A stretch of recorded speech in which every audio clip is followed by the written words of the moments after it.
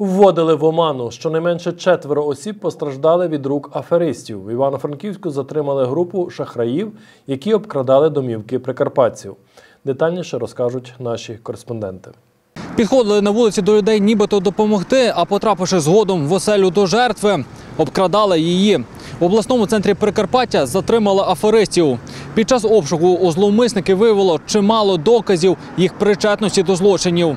Грошові кошти, викрадений мобільний телефон та багато іншого. Співробітники Івано-Франківського районного управління поліції задокументували злочинну діяльність групи аферистів. До складу групи входили чоловік та жінки, уродженці Івано-Франківська та Республіки Молдови віком 30 та 42 років. Чоловік раніше був судимий за вчинення інших злочинів. Окрім цього, фігурант має непогашену судимість за наркозлочини. Шахрії протягом місяця вчинили одразу декілька кримінальних правопорушень. Здебільшого жертвами шахрайства були пенсіонери. Аферисти на вулиці вводили людей в оману, пропонували допомогти піднести сумку додому тощо.